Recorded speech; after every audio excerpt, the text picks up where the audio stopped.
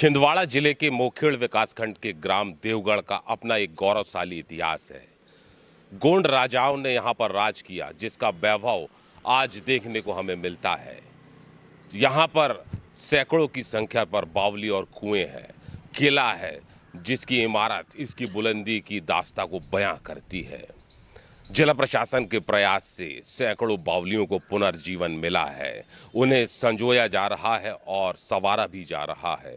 आज हम गोंड शासक राजाओं द्वारा बनाई गई इन बावलियों और कुओं का जायजा लेने पहुँच रहे हैं और इनके इतिहास के पन्नों को भी पलटने हम जा रहे हैं। ये देवगढ़ की वो धरोहरें हैं जो कई सालों पहले राजा महाराजाओं ने लोगों की प्यास बुझाने के लिए बनवाई थी। लेकिन जैसे जैसे समय गुजरा वैसे वैसे प्यास बुझाने वाली ये बावड़ियाँ मिट्टी की परतों में कहीं गुम सी हो गईं। लेकिन अब ये परतें हटने लगी हैं और ये बावड़ियाँ फिर से लोगों की प्यास बुझा रही हैं। आखिर इन बाबड़ियों को कैसे नया जीवन मिला? ये जानने की कोशिश बंसल न्यूज़ की टीम ने भी की और हमारी टीम भी जा पहुँची देवगढ़।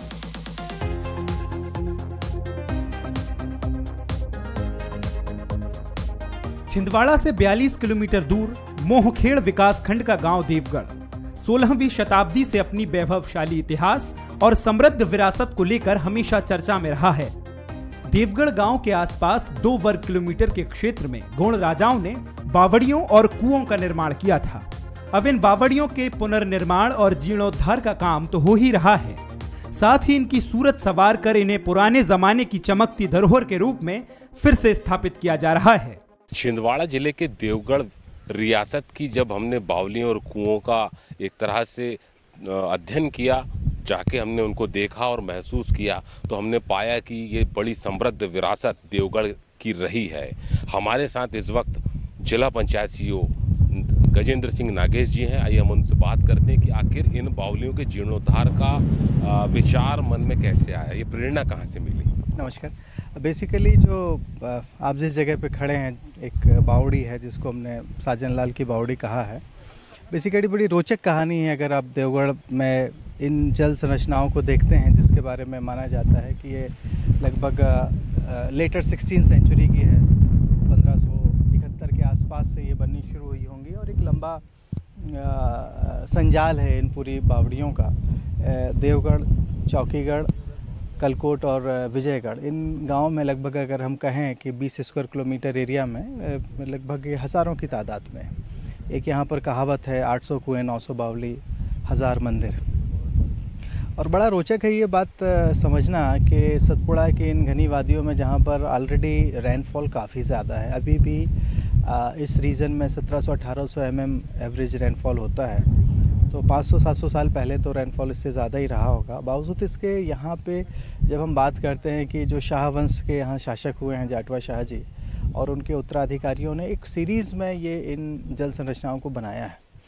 और भी विशिष्ट बात यह है कि ये यहाँ की जो नदियाँ हैं, इनके साथ समानांतर में चलती हैं ये बावड़ियाँ। तो हम लोगों ने जब इसका विगत वर्ष काम शुरू किया था मनरेगा में और कोविड के उस समय जब बाहर से आवागमन और गतिविधियाँ काफ़ी हद तक रुकी हुई थी तो यहाँ के स्थानीय नागरिकों को एक तो रोज़गार उपलब्ध कराना एक काम था और दूसरी बात है कि अपने हेरिटेज अपनी आइडेंटिटी अपनी पहचान को भी अगर हम रेस्टोर करते हैं तो हम लोगों ने मनरेगा में परंपरागत जल स्रोतों के संरक्षण के तहत इनको लिया है। और लगभग इसमें चौदह बावलियाँ हमारी बन के तैयार हो गई हैं। कुल बावन हैं जिनमें हमारा और भी काम चल रहा है। और अब आप इनको देख भी रहे हैं कि ये कुछ एक ऐसी एक्टिविटी के रूप में तैयार हो गए हैं जहाँ पे किसान इन बावड़ियों से पानी भी लगातार ले पा रहे हैं, अपनी फ़ार्मिंग भी कर रहे हैं। इसके साथ साथ कई सारे हमारे जो किसान हैं वो उद्यानिकी और बागवानी बागवानी की फ़सलों पे भी जा रहे हैं। देवगढ़ के इतिहास के बारे में काफ़ी आपने एक तरह से रिसर्च कर रखी है। तो इसका थोड़ा सा क्या इतिहास है और कितना समृद्धशाली देवगढ़ रहा है अपने आप में? देखिए जाटवा शाह जी के साथ जो शाहवंश की यहाँ पर नींव रखी गई, पंद्रहवीं, सोलहवीं शताब्दी के आसपास का समय ऐसा विशेषज्ञों का माना जाता है। और निश्चित रूप से काफ़ी बड़ा एरिया इनके समय में, प्रभाव में रहा होगा। वर्तमान नागपुर जो हम देखते हैं विदर्भ की राजधानी, उसकी स्थापना दरअसल देवगढ़ के राजाओं ने करी थी। इसके बाद सावनेर के पास जो पाटन सावंगी है, वहाँ पे नगरधन का जो तीसरी शताब्दी का जो गुप्तकालीन बड़ा स्ट्रक्चर है, उसके रेनोवेशन का भी काम जाटवा शाह ने किया था, ऐसा विशेषज्ञों की मान्यता है। सो एक काफ़ी बड़ा रीज़न जो आज की तारीख में कुछ बैतूल में और नरसिंहपुर, छिंदवाड़ा वगैरह का हिस्सा रहा है और सिवनी का भी रहा हो सकता है नागपुर तो काफ़ी सारा एरिया तो वो इस देवगढ़ राज्य का हिस्सा रहा है। तो अगर हम बात करें तो वो समय वही था जब दिल्ली में अकबर का शासन हुआ करता था, फिर उसके बाद जहांगीर और औरंगज़ेब वगैरह जब हुए हैं तो उनके समानांतर यहाँ चीज़ें थी।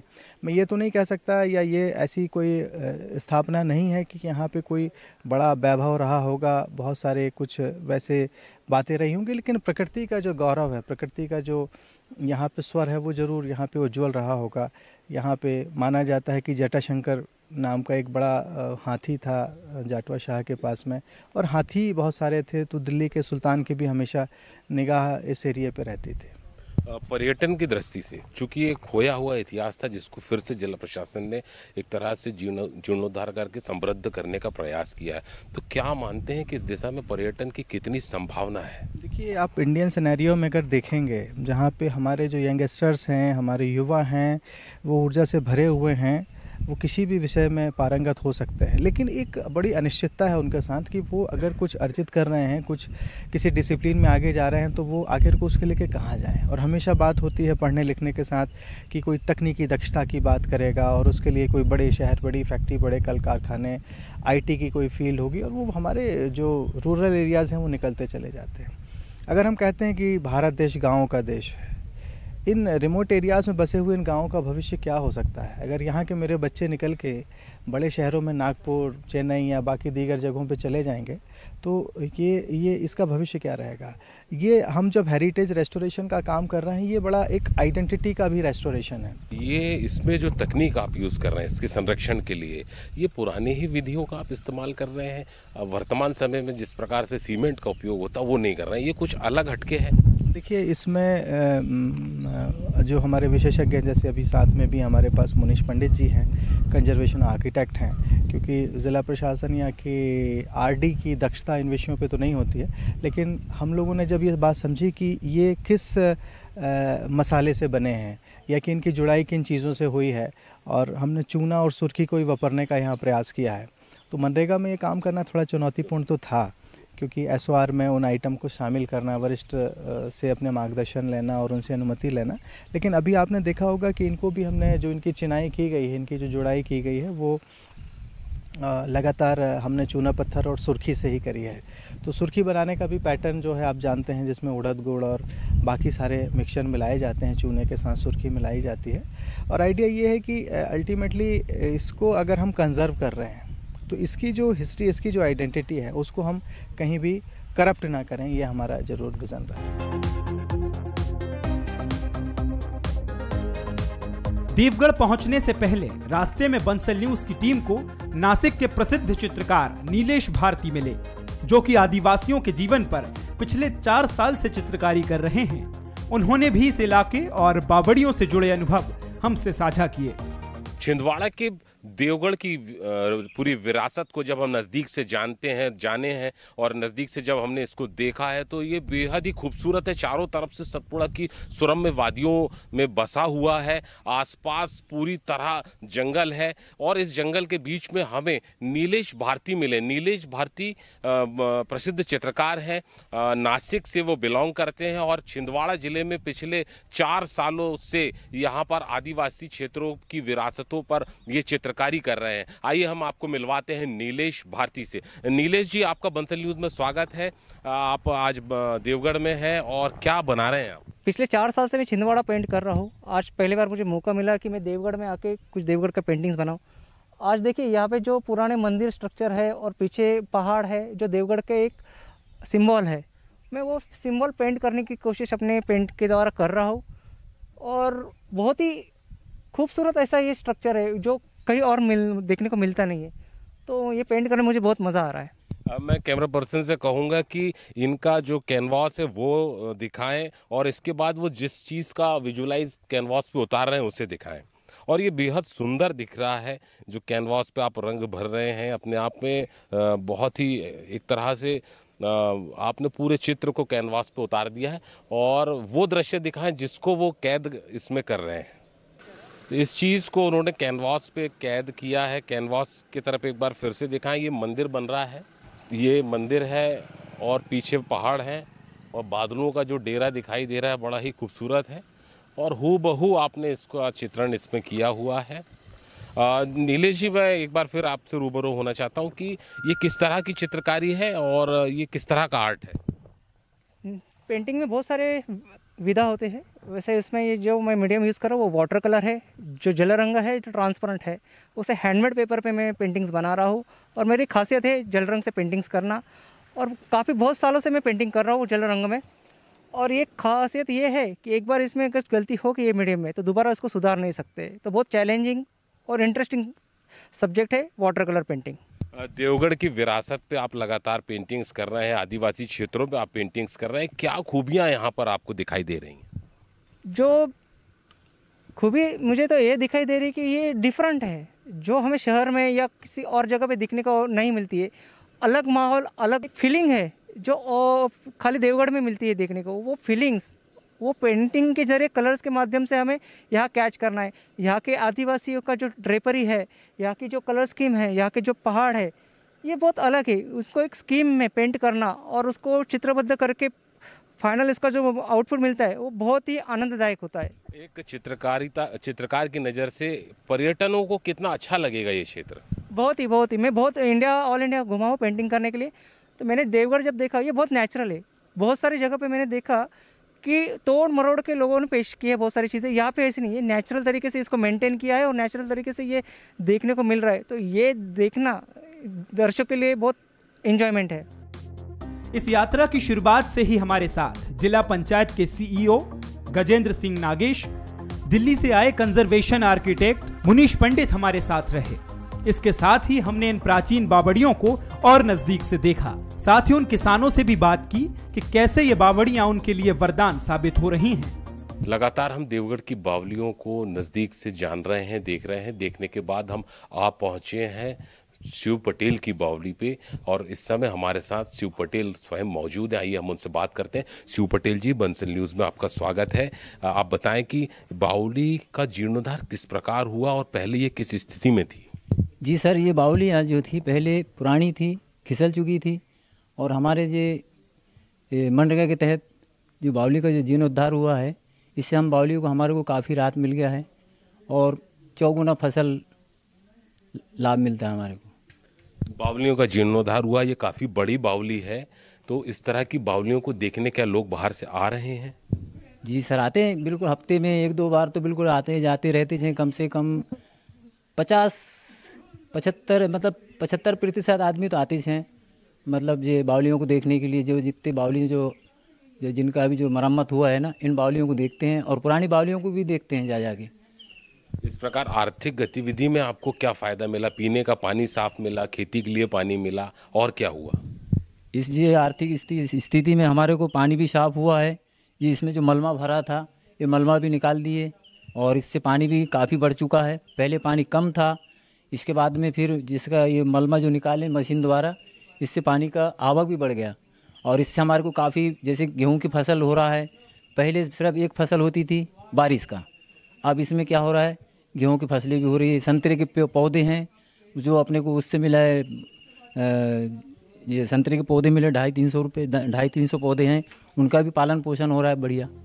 कई साल पहले ये बाबड़ियाँ ही स्थानीय लोगों के साथ मुसाफिरों की पानी का सबसे बड़ा स्रोत थी और आज ये खेती के लिए संजीवनी बन गई हैं।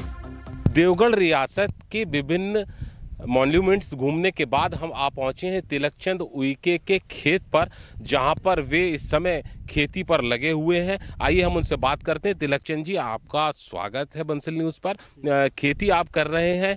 पहले और अब में क्या अंतर है?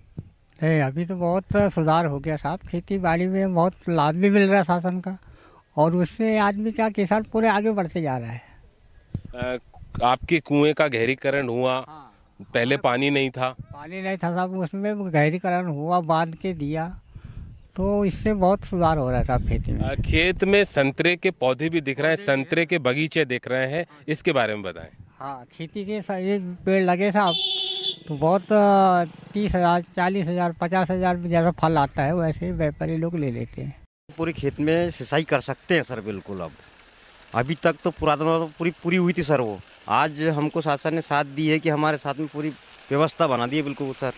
लगभग कितने एकड़ में आप खेती कर रहे हैं इससे? हम इसमें सर अभी ऐसे कि लगभग कम से कम पाँच एकड़ में कर लेंगे सर बिल्कुल।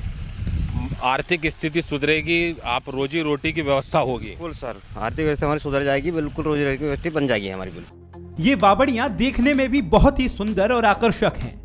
जो कि गुण राजा जटवा शाह और वक्त बुलंद शाह की वैभवशाली इतिहास की कहानी को बयां करती हैं। हालाँकि अब तक 50 से ज़्यादा बावड़ियों और 15 से अधिक कुओं की खोज कर ली गई है, जिन्हें सवारा जा चुका है। देवगढ़ की प्राचीन विरासतों को नज़दीक से देखने के बाद जब हम रानी तालाब पहुँचे तो हमें यहाँ पर जिला प्रशासन द्वारा चलाई गई वर्कशॉप दिखाई दी। मैं कैमरामैन से कहना चाहता हूँ कि वर्कशॉप दिखाएँ। ये पूरी वर्कशॉप एक चल रही है। ग्रामीणों को यहाँ पर प्रशिक्षण दिया जा रहा है और इस बात का प्रशिक्षण दिया जा रहा है कि देवगढ़ साम्राज्य के आसपास जितनी भी स्ट्रक्चर्स हैं, पुराने, पुरातात्विक, उनको सहेजें, कैसे उसको रखना है और किस तरह से उनको लंबे समय तक सुरक्षित रखा जा सकता है इस बात की ट्रेनिंग दी जा रही है। ट्रेनर दिल्ली से आए हुए हैं और इस बात की वो ट्रेनिंग दे रहे हैं और एक स्पेशल मिक्सचर वो बनाकर इन स्ट्रक्चर को सुरक्षित करते हैं। कंक्रीट का उपयोग अलग तरह से किया जाता है। मुनीश पंडित, जो कि दिल्ली में एक आर्किटेक्चर के बेहद अच्छे काम करते हैं हेरिटेज आर्किटेक्चर में कंजर्वेशन के काम वे करते हैं। वे हमारे साथ मौजूद हैं इस समय। आइए हम उनसे बात करते हैं। मुनीश पंडित जी, बंसल न्यूज़ में आपका स्वागत है। छिंदवाड़ा में जो काम हो रहे हैं, छिंदवाड़ा में जिस तरह के काम देवगढ़ में हो रहे हैं, उसके बारे में आप बताएँ। देखिए, ये काफ़ी अद्भुत है कि पिछले साल लॉकडाउन के दौरान ये काम शुरू हुए। और पूर्णतः ये एक तरह से लोकल लोगों के द्वारा ही किए गए हैं। हमारी तरफ़ से एक तरह का एक हैंड होल्डिंग है। हम इनको टेक्निक्स के बारे में और उसके बारे में थोड़ी जानकारी दे रहे हैं और उसमें उनकी ट्रेनिंग कर रहे हैं। इसके अलावा बाकी काम जो है वो पूर्णतः लोग अपने बलबूते पे कर रहे हैं। और इससे एक बहुत अच्छी बात यह है कि लोकल मटेरियल्स और जो कंजर्वेशन प्रोसेस है वो जानकारी लोगों के घर घर तक पहुँच रही है और इससे हम एक तरह से इंश्योर होते हैं कि आने वाले समय में जब भी मेंटेनेंस और मैनेजमेंट इसकी ज़रूरत पड़ेगी तो लोग स्वयं अपने हिसाब से कर सकते हैं। देवगढ़ की जो बावलियाँ हैं या जो स्ट्रक्चर हैं पुरातात्विक उसको किस नज़रिए से आप देख रहे हैं? देखिए ये एक काफ़ी यूनिक कैरेक्टर है यहाँ का और एक काफ़ी इंटरेस्टिंग फाइंडिंग है क्योंकि केवल दो स्क्वायर किलोमीटर के एरिया के अंदर अंदर हमने तकरीबन सत्तर से अस्सी बॉडियाँ ऑलरेडी चिन्हित कर ली हैं और इनका एक ख़ास पैटर्न है। एक ख़ास तरह के वाटर एक्वाफर को ये कैच करते हैं और उसके बेसिस पे बने हुए हैं। और उसके अलावा इनका जो आर्किटेक्चरल वोकेबलरी है, वो भी काफ़ी एक तरह से हम ये कहें कि अलग अलग पर्पस के लिए अलग अलग वोकेबलरी यूज़ की गई है। कहीं पे स्क्वायर बॉडीज़ हैं, कहीं पे लॉन्गिट्यूडनल बॉडीज़ हैं, कहीं पे ऑक्टागनल बॉडीज़ हैं और इनकी क्षमता भी अलग अलग है हर एक बॉडी की। तो हम ये समझते हैं कि ये देवगढ़ जो इलाका है, जो वैली है पूरी, एक समय में काफ़ी समृद्ध सेटलमेंट रहा होगा। इसमें जो है आप जिस तरह से एक तरह का रिपेयरिंग वर्क हम कह सकते हैं कर रहे हैं तो कुछ स्पेशल मटेरियल आप यूज़ कर रहे हैं उसके बारे में आप बताएँ। जी बिल्कुल अ, ये अ, हम जो काम कर रहे हैं यहाँ पे कंजर्वेशन का ये सारा काम लाइम बेस्ड है। चूने को एक तरह से मुख्य माध्यम मान के उसमें सुर्खी मिला के उसका मोटार तैयार किया जाता है। ये एक ऐसी परंपरागत परंपरा है जो पिछले सदियों से चलती आ रही है और इसी मटेरियल से ये बावड़ियाँ भी बनी गई, बनाई गई थी। तो सेम मटेरियल को यूज़ करते हुए हम इनको रिपेयर भी कर रहे हैं, जिससे कि इनकी जो आयु है वो और पचास से सौ साल आगे बढ़ जाएगी। ये जो पीछे सेटल सिस्टम लगा हुआ है, ये मटेरियल तैयार करने का है। मैं कैमरा पर्सन से बताना चाहता हूँ कि ये जो मटेरियल तैयार हो रहा है इसमें, ये किस तरह का हो रहा है और इसमें कितनी स्ट्रेंथ हमें मिलती है? देखिए, ये एक जिस तरह हम आप देखते हैं जनरल तरीके में कि हम जब सीमेंट कंक्रीट बनाते हैं तो मिक्सर में उसको मिक्स करते हैं। आप उसका एक पैरेलल प्रपोजिशन है कि जब लाइम और सुर्खी को और सैंड को इकट्ठा किया जाता है तो इस तरह के, एक तरह के चक्की में इसको पीसा जाता है। तो ये जो पत्थर है, ये हैवी वेट पत्थर होता है, इसमें इसको पीसा जाता है ताकि लाइम सुर्खी के साथ फ्यूज़ हो जाए। तो उससे उसकी जो स्ट्रेंथ है, वो काफ़ी गुना आगे बढ़ जाती है। तो इसमें लाइम सुर्खी मिक्स किया जाता है। उसके बाद इसमें ये इस तरफ़ हमारे पास ड्रम्स में ऑर्गेनिक एडिटिव्स हैं बेल गुड़ मेथी इनको फर्मेंट करके हम इनका एक ऑर्गेनिक लिक्विड बनाते हैं, जिसको कि इस मसाले के साथ मिक्स किया जाता है। और फिर इसकी एप्लीकेशन जो है एज ए मोटार की जाती है। यहाँ पर इस तरह की जो बावलियाँ हैं, कुएँ हैं और स्ट्रक्चर्स हैं पुरातात्विक इसमें पर्यटन की संभावना आप किस प्रकार देखते हैं? क्योंकि आप दिल्ली से हैं और बहुत सारे क्षेत्रों में आपने इसमें काम किया है तो कितनी पर्यटन की संभावना आप देखते हैं? काफ़ी पर्यटन की संभावना है, स्पेशली ये कंसिडर करते हुए कि नागपुर काफ़ी इसके नज़दीक है या छिंदवाड़ा एज अ जिला। ऐसी साइट्स जो हैं, इतनी कंसंट्रेशन में और इतने अच्छे नेचुरल एनवायरनमेंट में भारतवर्ष में बहुत ही कम जगहों पे मिलती हैं और लोग काफ़ी दूर दूर से इन जगहों पे एज ए टूरिस्ट विजिटर्स आते हैं और काफ़ी समय बिताते हैं। जो मेरी अभी तक की जानकारी है, यहाँ पे भी अगर टूरिस्ट इंफ्रास्ट्रक्चर को थोड़ा सा इम्प्रूव किया जाए और देवगढ़ को आसपास के इलाकों में और मध्य प्रदेश टूरिज़्म के थ्रू अगर इसको एडवर्टाइज़ किया जाए तो मैं ये ज़रूर समझता हूँ कि आने वाले समय में यहाँ पे काफ़ी मात्रा में विजिटर्स जो हैं वो आएँगे। इसके अलावा देवगढ़ का किला भी है जिसका निर्माण 15 से 16वीं सदी में गौड़ राजाओं ने किया था। हालाँकि इस किले के बारे में कोई ज़्यादा लिखित प्रमाण नहीं है लेकिन अब इस इलाके को पर्यटन के तौर पर भी विकसित करने की बात हो रही है। अभी तक लगभग 50 के आसपास बावलियों का जीर्णोद्धार किया जा चुका है। वहीं पास में एक पुराना किला भी है ये दोनों चीज़ें मिलाकर और ख़ास करके वहाँ पे कुछ वन का क्षेत्र भी है, जहाँ जड़ी बूटियाँ और इस तरह की चीज़ें हैं। इन सभी चीज़ों को समग्र रूप से मिलाते हुए एक बेहतर पर्यटन का अवसर वहाँ पे हम लोगों को दिखता है। उसके कुछ प्रस्ताव भी हम लोगों ने शासन की तरफ़ प्रेषित किए हैं। उस पर अभी शासन द्वारा विचार किया जा रहा है और आगे जैसे स्वीकृतियाँ प्राप्त होंगी तो वहाँ कुछ स्ट्रक्चर के निर्माण की आवश्यकता होगी। वर्तमान में लोकल स्तर पे जो उपलब्ध फंड है, उसके आधार पे हम लोग चीज़ों को अलाइन करने की कोशिश कर रहे हैं और वहाँ पर्यटन की सुविधाएँ बढ़ाने का प्रयास कर रहे हैं। प्रशिक्षण आदि का कार्य अभी चल रहा है। सतपुड़ा के घने जंगलों के बीच देवगढ़ में प्राकृतिक और ऐतिहासिक घटाएँ बिखरी पड़ी हैं, जिसे अब पर्यटक इलाके के तौर पर विकसित किया जा रहा है। छिंदवाड़ा ज़िले के देवगढ़ की जहाँ तक हम बात करें तो इसका अपना एक गौरवशाली इतिहास रहा है। देवगढ़ में राजा जाटव का राज रहा है। देवगढ़ के किले को राजा जाटव ने बनवाया एवं इसको मजबूती प्रदान कुंवर बख्त शाह ने किया। फ्रांसीसी साहित्यकार फरिश्ते ने अपनी किताबों में भी देवगढ़ की गौरवशाली कहानी को बयां की है। अकबरनामे में भी देवगढ़ का ज़िक्र मिलता है। अमित द्विवेदी बंसल न्यूज़ देवगढ़।